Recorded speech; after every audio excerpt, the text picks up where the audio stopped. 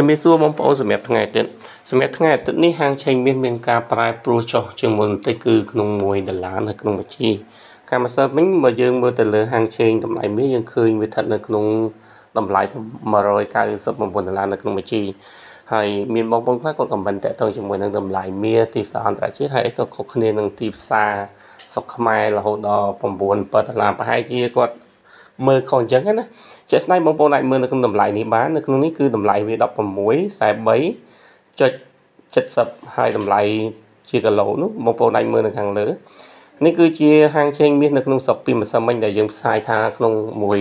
មួយមួយជីហ្នឹងគឺមានតម្លៃ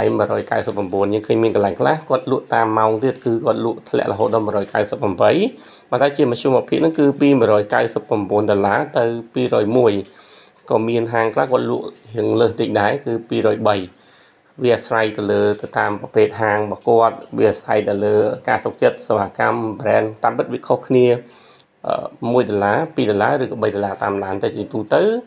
វាអាចខុសគ្នាចន្លោះពី1ទៅ2ប្រសិនបើមានការកែកតុយអញ្ចឹងបងប្អូនអាចផ្ទៀងផ្ទាត់បានថាតម្លៃមាសនៅអន្តរជាតិនិងក្នុងស្រុកវាខុសគ្នាបែបណា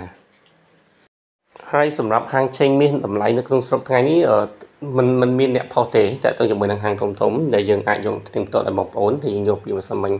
យកឲ្យបងប្អូនផ្ទៀងផ្ទាត់មើលអញ្ចឹងតម្លៃមាសអន្តរជាតិដែលបងប្អូនអាចឃើញហ្នឹងបងប្អូនអាចគ្រាន់តែគិតថាវាខុសគ្នា1ដុល្លារទៅ2ដុល្លារទៅបានដែរក្នុងមួយក្នុងមួយជីសម្រាប់ទីផ្សារទូទៅមួយចំនួនខ្លះគាត់លក់ស្មើនឹងហាងឆេងមាសអន្តរជាតិតែម្ដងបាទសូមអរគុណហើយបើសិនបងប្អូនចូលចិត្តវីដេអូនេះសូមជួយចុច Subscribe ដើម្បីឲ្យយើងទទួលបានអ្នកគាំទ្រច្រើន